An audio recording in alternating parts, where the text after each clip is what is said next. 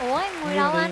chỗ đó chứ đâu bây giờ ai dám dành cho đó cho em? Ủa chỗ đó đâu phải là chỗ dành cho em đâu. Trời ơi bây giờ còn ai nữa không? Lẽ trúc nhân vô đó ngồi sai dữ lắm luôn chỗ á có Harry Potter không phải cái ghế này chỗ của Harry Potter là phải ở đây.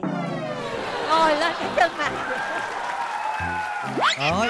Trời ơi coi cái mặt không? Cái mặt mắc cỡ dồn giả tạo hết sức luôn vậy đó. Nhìn cái khẩu miệng là đúng là vậy và Cái mặt khẩu- đẹp quá. Khẩu hình hoặc là cái Khẩu hình, cái khuôn khẩu hình. miệng chứ cái khẩu Dạ. miệng ừ một là khẩu hình em hai là khuôn miệng. Đúng như vân nói còn khẩu miệng là cái gì? Khẩu là miệng với là cái gì? Còn- bớt còn- đi bớt đi đừng có còn cái người mà nói nha. nhiều ta gọi là khẩu nghiệp.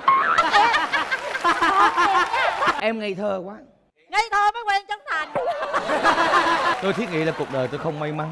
Khi bạn bè và gia đình xung quanh tôi đều là những người đâm sau lưng tôi. Đâu đâm trước mặt đi chứ đâm trước mặt vô mặt chứ nó đâm sau lưng cái gì? Em không có nhìn cái gì nhiều nhìn cái ánh mắt bạn này rất tin, là tự tự tin. em nghĩ là bạn này hát hay. Đó là ánh mắt của em nhìn anh phải không